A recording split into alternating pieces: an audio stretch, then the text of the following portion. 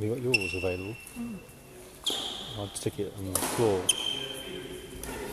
looking that way.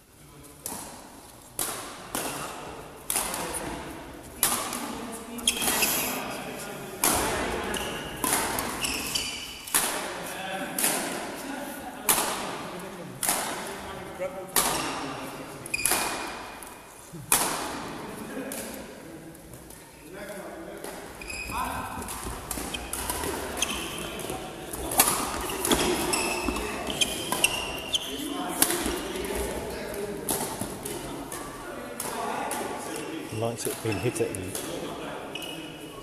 Mm. Okay, it's time to take the pace of it off.